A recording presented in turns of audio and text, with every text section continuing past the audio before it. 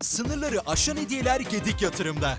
Yatırım hesabını hızlıca açanlar hediyelerle dolu çekilişe katılma fırsatı yakalıyor.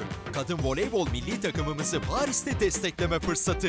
iPhone 15 Pro, AirPods kulaklık ve voleybol milli takım forması kazanma şansı yakalayın.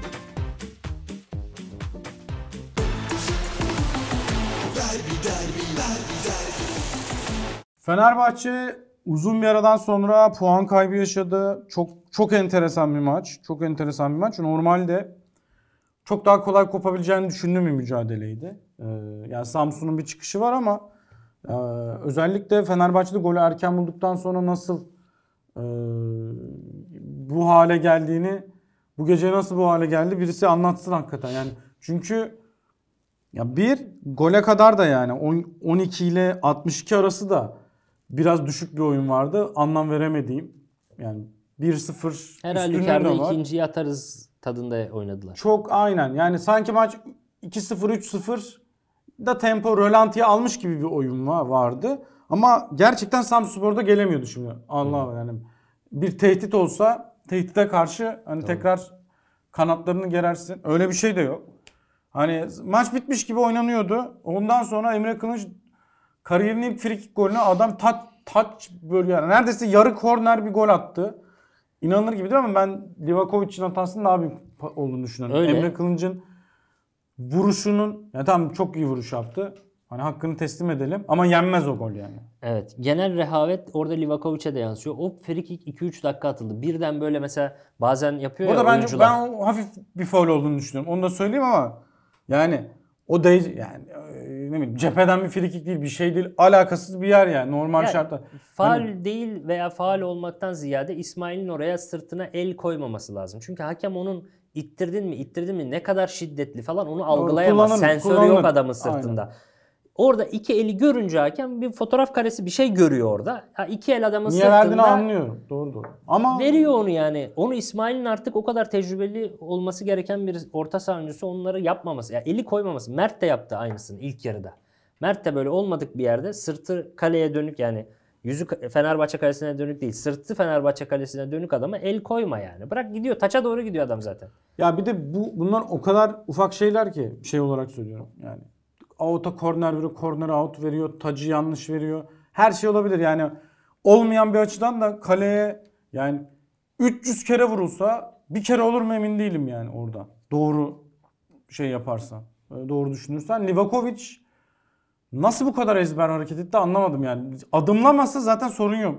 Öbür tarafa gidiyor, görüp atlıyor. Bu arada muazzam atlıyor. Yani atlaması da atlama sıkıntı yok da kurtarış değil yani. yani evet. Kurtarış değil yani. Ya şöyle e, Ama olacak iş değil yani. Oradaki rehavet o kadar belirgin ki. Bak bazen frikiklerde olur ya böyle adam koyar hemen düdük çalmadan çat diye vurur. Herkes böyle bir yapınırken falan birden gol olur mesela. Öyle böyle bir şey de yok. Koydular oraya Zeki ile muhabbet ediyorlar. Zeki geliyor dur vurma diyor bir şey söyleyeceğim diyor. Kulağına diyor Livakovic şey galiba falan orada bir şeyler anlatıyor. Sonra Emre şut çıkarıyor falan orada. 2 dakika 3 dakika durdu orada. Ben anladım televizyon karşısında ya Zeki bir şey anlatıyor. Kesin bir, bir şey planlıyorlar ya işte paslaşacaklar bir şey yapacaklar belli yani. Livakovic orada hala dalgın. Ama bütün takım dalgın. Sadece Livakovic değil yani. Golleri kaçırırken de dalgınlar. Hatta işte biraz gülüyorlar. Mesela Tadic boş kaleye kaçırıyor ilk kafayla. Gülüyor yani. Onlar çünkü atacağız. Keyif yerinde. O rahatlıktan dolayı çok güzel bir asist de yaptı ondan sonrasında ama ne olursa olsun 1-0'dayken o kadar rahat olmamak lazım. Ceko için mesela geçen hafta da söyledim. Adana Demir maçı, Antep maçı, bu maç 1-0'dayken bitiricin 9 numaranın daha keskin. Mesela 2'yi bulsa Ceko o pozisyonlardan buldu gene birkaç tane pozisyon. Buldu buldu. Ha, onlar atsan kesi, koparacaksın maçı mesela. Ee, ama 1-0 yani 1-0 1-1 arasında çok iyi değildi ama tamamen Fenerbahçe üstünlüğünde. Evet. Samsun'un gelemediği bile neredeyse bir maç izledik. Ama 1-1'den sonra çok kötü bir maç izledik Fenerbahçe adına. Bunun da en temel sebebi bence İsmail Hoca öyle demiyor bu arada. Onu Ya- izledin mi? ya izledim pozisyon ama bu şöyle can havli pozisyonlar olur ya. Evet. Her Ya halükarda bilinçli. olacak o pozisyon. Ya Fenerbahçe bugüne kadar nasıl geldi? Bugüne bugün niye Fenerbahçe lider? Niye 10 averaj fark var? 15. Şey, On- 10 on averaj, averaj 15 var. gol. Evet. 40 niye 41 averajı var Fenerbahçe? Bu oyunla mı? Ha alakası yok.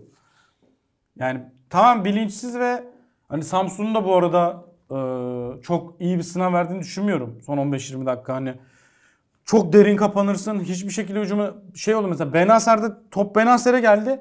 10 metre çapında hiç kimse yok Fenerbahçeli. Daha top gelmeden vurmaya çalışıyor. Daha top gelmeden vurma arkadaşlara ne yapıyorsun falan diyor. Topu tutsa sakin ol. Dripling bile driplinge başlayabilir. İstediği yere top atabilir. Yani bilinçsiz bir Samsun Spor vardı ama Fenerbahçe kendi kimliğinden koptu. Ee, yani çıkan oyuncular İrfancan, Ceko, Tadic aynı anda çıktı. Evet. Yani bunları aynı anda alırsan zaten bir daha buna geri dönüş şansın yok ki. Ya geçen hafta ben Antep maçında şeyleştirmiştim. Yani Ceko Batshuayi'ye dönmek eee, şeyden dolayı eleştirdim aslında. Ceko Batshuayi'ye dönebilirsin de Fred Szymanski ikilisi yapmanın mantıklı olmadığını düşünüyordum. O, o bile daha mantıklıymış ya. Evet, tabii O bile daha mantıklı. En azından çünkü Ceko Batshuayi var. Baktın istediğin gibi gitmiyor. Yine Ceko'yu çıkarıp başka bir şey dönebilirsin ama kafadan aldığın zaman hepsini aynı anda bir de 3 değişiklik İr- e, İrfan, Ceko ve Tadic. O zaman topu tutan, e, biraz bağlantı oyununa gelen, e, oradaki baskıyı işleyen adam kalmıyor. Giren adamlar King, Batshuayi, Cengiz. Al, alayım yar, alam yardıram. Evet. Yani böyle bir de bunlar yetmiyor gibi de Emre Mor'u attın. Evet. Ya sıfır bilinç. Bilinç kalmadı takımda. Şimdi ben orada şöyle bir şey gibi yapıyorum. bunu biliyor musun? Ee, Avrupa deplasmanındasın mesela 2-1 öndesin. Baskı yiyorsun. kontrata.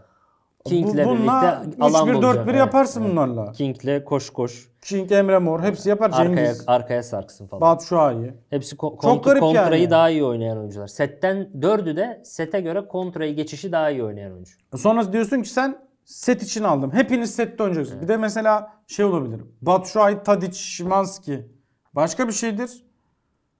Ee, ama Batshuayi, King, Emre Mor, e, Cengiz bambaşka bir şeydir yani. Bir, bir iki tane böyle aktif oyuncu atabilir mesela ama şey tamamen buna dönmesi çok garip geldi bana. Süper Lig'de 21. hafta sonunda kapalı takımlara karşı en çok asist beklentisi üreten oyuncu Tadic. Bir numaralı oyuncu Tadic. Kapanan savunmalara karşı. Bu maçta da çok moralli, mükemmel de bir asist yapmış. Kusursuz bir asist yapmış. Ben Ceko'nun çıkıp Batshuayi'nin girmesine o kadar şey yapmadım. Şaşırmadım. Çünkü Ceko Antep'te de kaçırdı. İşte şeyde de bu maçta da kaçırıyordu. Penaltıyı da kaçırmıştı Antep'te. Biraz kaçırıyordu Ceko ve Batshuayi de şeye e, Adana'ya 4 tane gol atmıştı ve böyle kapanan takımlarda biraz Batshuayi boğuşabilir, alan açabilir vesaire. Ama bak o dakikaya kadar çıkan Tadic'in 4 tane kilit pası var. İkinci sırada Şimanski bir sonra da o çıktı. 3 tane kilit pası var, anahtar pası. Üçüncü sırada kim geliyor? Tahmin et. Kim? En çok kilit pas atan Tadic ve Şimanski'den bu dünkü maçta. Aa, Ferdi mi? Osterwolde. Osterwolde. Aa doğru çok çıktı ya bu arada. Acayip yani. Ya stoperin yapıyor bak. Üçüncü bir oyuncu yok. Ve bu ikisini çıkardı. Yani rakip kilitleyecek ya maçı. Son 30 dakika kapanacak. Kilitleyen rakibe iki tane anahtar pas verebilen oyuncu var. Biri 4 tane Tadic, bir tane de 3 tane Şimanski. Anahtarları çıkardı oyundan ve kilitli duvara karşı anahtarı olmayan oyuncularla hücum etmeye çalıştı. Bence kötü, e, özellikle Tadic ve Şimanski çıktığı için kötü bir plan. Ben Batshuayi'yi yine anlıyorum ama Tadic bu maçta en çıkmaması gereken maç Tadic'in.